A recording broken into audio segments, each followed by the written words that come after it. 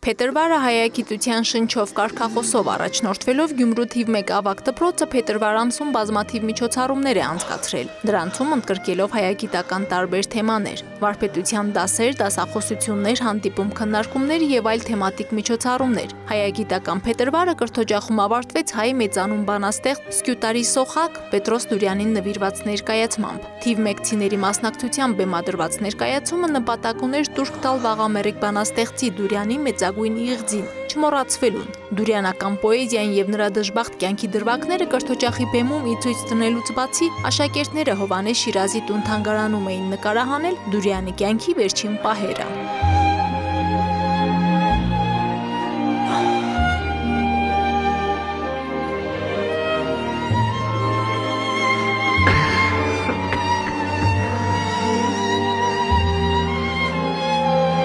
Գսեն գրագոտ չես,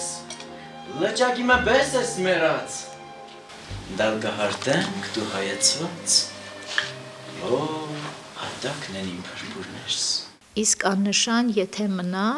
ու բազմակետեր, գիտեք Տուրյանի հայտնի խոսքն է երկրի մեկ խոր նողակույտն իմ եւ հիշատակ սալ թարամի, ո այն ատեն ես կմեռնեմ, քայլ է, որ թույլ չտանք, չթողնենք, որ վերևում մեր հանճարեղ բանաստեղծը, բանաստեղծի հոգին տխրի, որ աննշան է մնացել իր հիշատակը։